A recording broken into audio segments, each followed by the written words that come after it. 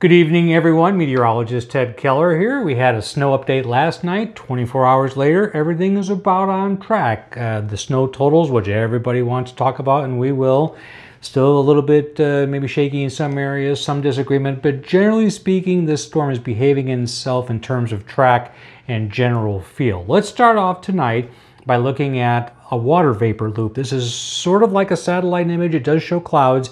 It also shows dry air. And because it has that ability to do that, it's also an excellent tool for looking at swirls in the atmosphere. If you watch last night's video, you remember this storm in the upper atmosphere was over uh, southern Nevada. Now, as you can see on the latest loop here, it's tucked away there in extreme southwest New Mexico, rounding the bend, strengthening, coming out into the Great Plains, producing snow on its northern end, severe weather in the deep south, both of those tomorrow. In fact, tornado potential around Houston tomorrow afternoon, Texas, and um, also into Louisiana later tomorrow during the evening. Um, but um, also for us, the snow. So, what's involved in this? Well, there's a couple of factors going on here. There are two parts to most snowstorms, especially lows that travel south of the Ozarks, like this one's going to do. Um, there is the warm part, and this is the graph I have showing you here, the computer model output for about 6 o'clock tomorrow. So what it shows, and the arrow kind of indicates, you can almost see how the moisture is flowing up and around this developing storm. It's rain where it's green, and it's where it's blue, it's snow.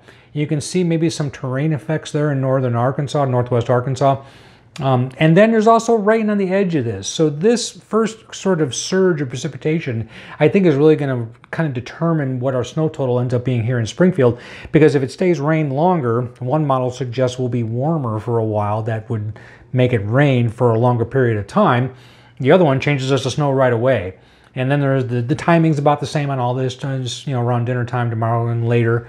And uh, so that's one factor. Then if I show you the map uh, for just 12 hours later, uh, you can see we're on the cold side as indicated by that white oval. So that's just pure snow. And so that's when the second accumulation of snow will occur. And it might be the more meaningful one or it might not be. It's really kind of hard sometimes to pin these things down. Believe it or not, give us another you know 24 hours and we'll be able to tell you a little bit more about it. Another thing is let's take a look at this. Uh, you know, when you talk about snow, you often have to talk about not just the surface temperature, in fact, it can snow above freezing. You need to look at the depth of the layer, but also with snow, you need to look at whether the air is saturated, like this computer model shows for tomorrow evening, or are there dry pockets like this model shows, which is also a little bit warmer, at least initially. So these are all the factors that go into determining when snow will start transition, when it will start accumulating, and uh, just some of the things we look at just for your you know, store it away wherever you want to store that information.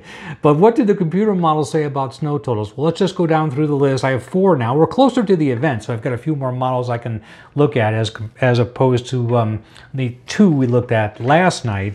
And let's just go down from lowest to highest. So the lowest one is uh, is a high resolution model we run 24 hours, no, 48 hours out, 24 hours out. 3.7 inches in Springfield. Next one up is the Euro model, run out of Europe, not surprisingly, 4.1. The GFS is a American long range model, 5.2. And finally the NAM, which is an, an American sort of uh, medium range model, 7.2 inches. So there's your spread, so to speak speak if you're a gambling person. I'm putting it at about four here in Springfield because I've learned over the years I have to come up with a number for Springfield, right? But now keep in mind that's at the airport. Uh, I think the grading of snow will increase as you go south. So you go down to Ozark, Christian County area, Nixa, um, you could easily see more. And in fact, if you saw all those maps, you saw that the main emphasis for the snow band, the, the highest total center, was south of Springfield. And to bolster that, here's the latest watch and warning and advisory uh, map.